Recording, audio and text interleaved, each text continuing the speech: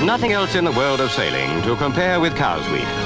To holidaymakers in their thousands, it brings a thrill and a spectacle they never forget. There are races for all classes of yachts.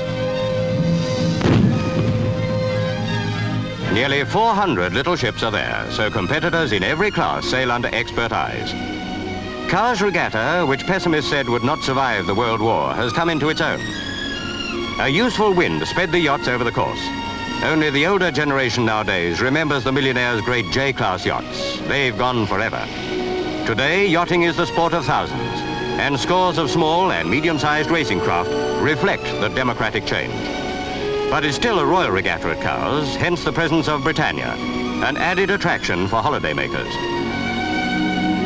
Not only the royal yacht, there was a royal competitor.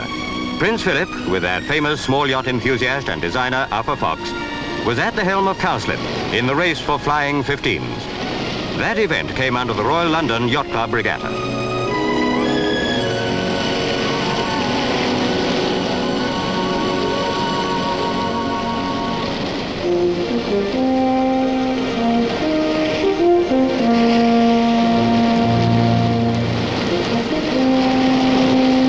Harassed now and then by sightseers sailing too close and with pressmen in close attendance, the Duke won seventh place.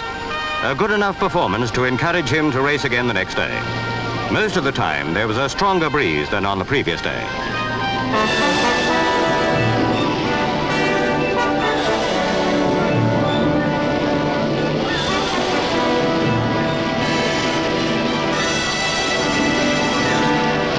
With the Duke were Uffa Fox and C. Smith in Blue Bottle. This Dragon class yacht was a present from the Island Sailing Club to the Queen and Prince Philip. Later, several vessels had their spinnakers out, a magnificent sight. The International 12 meters naturally excited interest among the experts in view of the possibility of another British challenge for the America's Cup. For the cruising yachts, too, it was a nearly perfect day.